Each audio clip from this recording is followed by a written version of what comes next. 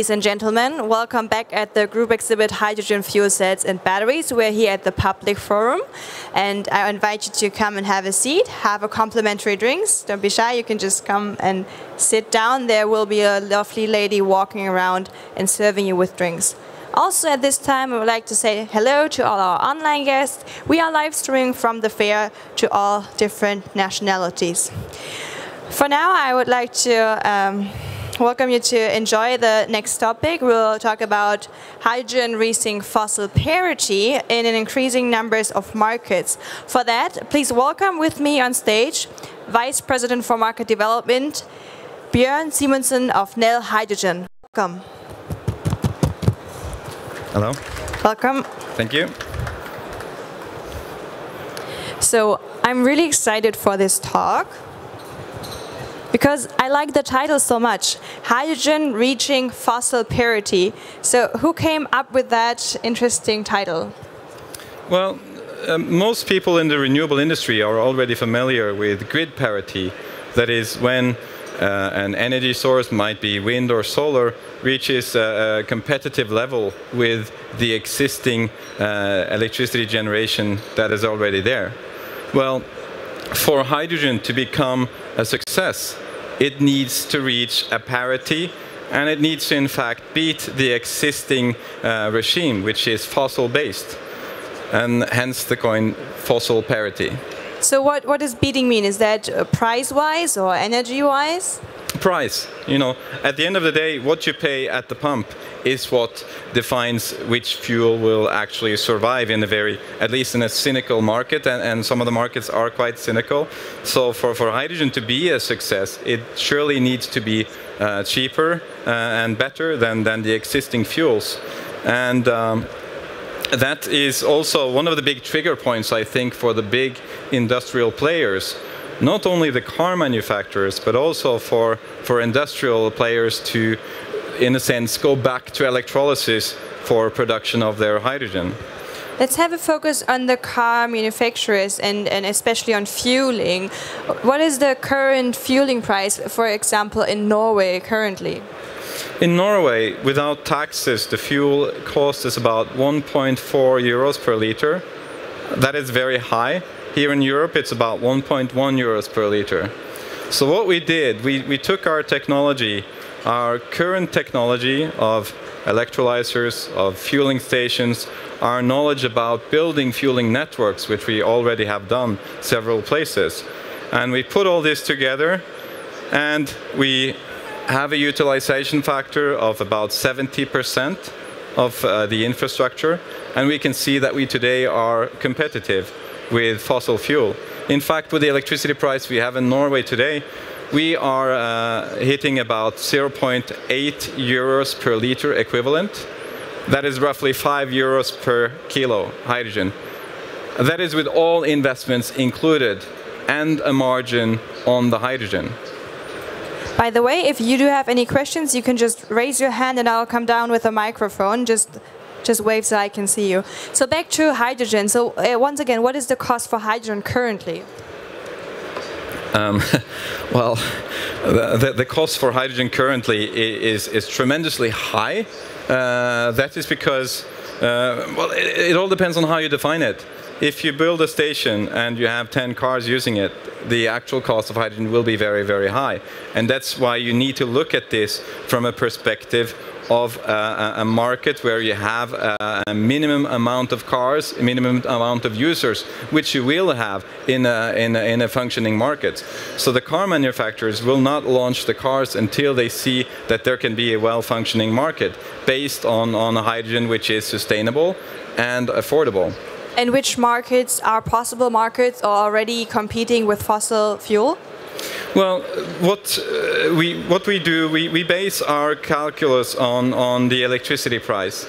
So in Norway today, the uh, average electricity price is about four euro cents per kilowatt hour, and in a scenario like that, you will get uh, a hydrogen price of about five euros per kilo, all included. So depending on what the fossil fuel price is in your market, hydrogen will already be competitive. It is several places in Europe, in California, where we are also establishing ourselves. It's still uh, not competitive with today's prices, but we see it will be in a 2020 timeframe. In, in 2020, California has the potential to also reach prices that are uh, in parity with fossil fuels for hydrogen? Absolutely. With the right utilization rate, we will surely be there. And we see that we will also be able to go lower than that. What, what utilization are you assuming? You just mentioned you, you, you're assuming 70%. So Yes. what if there would be higher utilization, which is possible? Of course, uh, then, then the case gets better. And we've used quite conservative numbers also for the transport of hydrogen from uh, wherever you produce it to the consumer. So on all accounts, we see that this case will just improve. And we do not only see potential in the fueling industry, but also in the whole energy market and the industry. So how large is the actual market for hydrogen? Well, the market for hydrogen, and I mentioned this a couple of years ago also, we should look at the existing hydrogen market also. It's tremendously big. It's, uh, it's more than 50 million tons per year. And today, electrolysis only accounts for 1% of that market. The rest is steam methane reform based and, and uh, oil and coal. Um, and what we, what we recently have done, we have made a, a, a redesign uh, of a plant which is 400 megawatt large. That is in dialogue with a, with a very uh, concrete industrial uh, customer. And we see that we, on a capex level, get below steam methane reforming. So we're on a capex level of $450 per kilowatt for the electrolyzer part. And if we have an electricity price of, say, 3 euro cent per, per uh, kilowatt hour, we also beat reforming on, on the OPEX side. So you already mentioned your electrolyzer, and I'm pretty sure there are many faces here that would like to know what your co company does besides electrolyzers. What Nel, what, what, what is the company profile and history of Nel, briefly? Well, we're actually we're actually celebrating our 90 year anniversary this year. We are actually the the oldest uh, company in this uh, business. Congratulations. Yeah, thank you. Uh, and uh, and the funny thing is that the whole business was started up based on really really large scale hydrogen production for the industrial sector. Uh, plants of several hundred megawatts uh, were built uh, almost 90 years ago. And the interesting thing is that we are now seeing this coming back. Obviously, we've done quite a bit of development on our technology since then, both on cost and efficiency, and we see that we have a, uh, have a great potential for cost reductions going forward, both on the technology side itself, but also an engi engineering part. And when did you start uh, researching on the electrolyzer that you're currently selling? Well, that, that is, uh, it's been a continuous development uh, right from the start. We, we are also doing other kinds of uh, development uh, tracks on, on uh, electrolysis side. We are in the process of acquiring uh, Proton On-Site, which is right behind us here. So we will soon be the, the biggest electrolyzer company globally. Uh, so, so, there's uh, uh, definitely lots of activities ongoing in that area, in addition to our fueling station part, uh, where we have a, a very, very good uh, fueling station product, which enables us to make these calculations because we know what cost uh, reductions we can make going forward by 2020, 2030 both on fueling, electrolysis, we put this into the model, and then we get the numbers which look quite good. So not only very successful electrolyzers, but also hydrogen station. How many hydrogen stations do you have in Norway? In Norway, there are about uh, five hydrogen stations operating today, so that's not very much. Uh, there is a support program coming out this spring for fueling stations. We have established a joint venture with uh, the leading retail company in Norway and, uh, and uh, Praxair to build a network of fueling stations all across Norway. So the target is 20 stations by 2020, which we think we will achieve as well. And what, is necessary to achieve this? Is there, we need we we demand, right? We need uh, hydrogen fuel, uh, fuel-based cars. Yes, yes, we do, and and that's part of why we are publishing the numbers on, on fossil parity is to send a clear message to the car manufacturers, to governments uh, around that this fuel is both sustainable and it's also economically feasible on a large scale. So the car industry is that the link to push the hydrogen industry to a competitive, competitive and successful market? They, together with uh, us and others who are manufacturing both electrolyzers and fueling stations, uh, they need to be certain that we can meet uh, the demand that will arise if they say we, we will produce 100,000 cars. They need to be certain that there's production capacity for, for fueling stations as well, which is why we are now in the process of opening a new manufacturing plant for, for fueling stations in Denmark which has the capacity of, of 300 stations per year when run at full capacity. And when will that open? Uh, it will open uh, sometime uh, summer, uh, over summer. Yeah, yeah. We'll, we'll, uh, we'll uh, announce more closely when, when we are ready with that. Um, with hydrogen technology, for your personal opinion, Norway is already um, very good. I think better than Germany in promoting hydrogen as an alternative um, base. Uh, when do you think hydrogen technology can outcompete fossil fuels? Well, if you, if you take Norway, uh, the, the, really, really interesting development that is happening there now is on uh, the maritime sector. Norway is a big maritime uh, nation. Uh, even though we don't have Vikings anymore, we still have good shipbuilders. Uh, and we have shipbuilders that have been supplying uh, lots of solutions to the petroleum industry. And as you know, petroleum is quite cheap these days, so, so they are looking at other, uh, other pathways. Where is the next boom for them? Where can they be competitive in the future? So now we see all the maritime players in Norway are being engaged within hydrogen drivetrains for, for boats and not just small boats. They're looking at big passenger car ferries and even bigger vessels. So that is a really, truly interesting opportunity where also Norwegian players can, can uh, make a difference. And that really opens up opportunities for, for many suppliers uh, present here at the fair today. And is there also support from the government? Absolutely. Uh, so there, there will be uh, the first uh, hydrogen car ferry will be in operation by 2021 in Norway, which is not very long uh, from now. Yeah. Uh, and and uh, government is fully behind that. Uh, dragging their feet a little bit on the hydrogen infrastructure for passenger vehicles, but things are happening uh, there as well. So I think a lot of a lot of good things are coming together now and and putting good momentum on this process.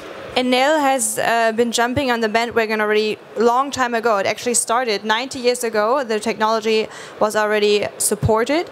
And what is the strategy for Nel for the future? Well, we obviously have to beat uh, fossil, both on the fuel market and the industry market. And we see that's within reach. So, uh, so we're really looking forward to to start building these these really really large plants to to demonstrate that it can be done. Well, price-wise, you, you already uh, showed that it's definitely compatible, uh, at least in Norway and, and soon in California and some European countries as well. But let's have a look at the energy. Mm -hmm. In terms of the characteristics of hydrogen in comparison to fuel, diesel, gas, how can, how can the hydrogen technology outcompete? I mean, with, with, regards to energy, it, it, it obviously is, is, the most energy dense per, per kilogram uh, fuel uh, out there. Uh, and, and the energy uh, content or energy used or as such, uh, the, the, kilowatt uh, hours aren't that important. I mean, you, you, obviously use energy to produce hydrogen, but when you use it from increasingly from renewable energy, then that part of the part of the matter isn't that important anymore. Well, currently the energy that used to put, uh, to produce hydrogen is, is, so high that the outcome of the energy later on is, is reduced, right? Mm -hmm. So, do you think in the future time that will be 100% um, that can be used? So the electricity that is used to with the electrolyzer to split to get the hydrogen at the end you will get as much hydrogen as uh, well you get as much electricity Well, if you mean the utilization of the energy available, uh, yes, absolutely. You have more flexible electrolyzers uh, coming into the market that can capture uh, uh a wider spectrum of whatever energy you have available from, uh, from renewables. Uh, but I think the key here is that, that the renewable will drive the hydrogen business and it will drive it to a, a competitiveness and outcompete fossil fuels. And what is really driving? Is that the demand side, or is that the companies like Nel that are pushing? No, it, it, it's more uh, companies, uh, countries that don't want to import fossil fuels. Mm -hmm. They're really driving this, yeah. and they see that uh, on electricity production, this can beat their current fossil production and it will reduce the emissions, etc. All of these positive effects that you have on that. And then they say, oh, we can produce our own fuel as well. And then Bjørn uh, Nel is uh, been, has been here for several years now already and um, is uh, well known. And also uh, this year you're going to North America you're going to the Solar Power International, to the Hydrogen Group exhibit for the first time. The group exhibit mm -hmm. will uh, extend and will take place in North America. What are your expectations for uh, doing business in North America? Our expectations are very high, and, and they have to some degree been met already because we see California as the most important market for uh, passenger vehicles within hydrogen uh, for the time being and, and will be in, in the coming years as well. So to be present there uh, is is uh, important, uh, both for us uh, and also for, for, for, our partners. And, and what we see is that to an increasing degree, hydrogen is being produced from solar electricity so to have uh, the, the, the fair co-located with the solar industry will be uh, will be interesting in, it, and it will create a dialogue which I think will be very very useful going forward, both to meet uh, the targets currently in California of 33% renewable hydrogen, but also to go beyond that. And I think that the title of your presentation saying that hydrogen will reach fossil parity when I first read that, I thought, well, this is this is like the headline of the Hanover newspaper. And I, but I really liked it. And I, when we talked, you're so confident, and the company is so confident that that it, it can be real. And I think this is exactly what is needed to to stress on. Yes, it's possible. Yes, we have the numbers. And I think with 70% utilization, that's really realistic. But being more optimistic, then soon the goal, goal can be reached. And Norway is really a role model in using renewable energy. And Thank today you. we didn't have so much time to talk about the electrolyzer that you have on your booth, but this afternoon you will also be participating in an elevator pitch. Is that exactly. right? So in the technical forum this afternoon with ten uh, with nine other competitors, uh, you can compare all the. We have a, new one. We have another one. So uh, okay. so there are more and more that want to join the elevator pitch. So you have to compete with a little bit more. Yeah. So uh, all of them get four or five minutes and will pitch the um, their electrolyzer, and then at the end uh, there will be a discussion, and you'll mm -hmm. be there as well. Yes. For now, I really have to close because I know the other moderators are already waiting for the next talk. But if you do have more questions to Bjørn, then you can easily reach him right after the talk at the booth B60. Yeah, it's right over there. It's right across here, um, together with the other Norwegian exhibitors. Thank you very much. That was Bjørn Simonsen from Nel. Thank you. You.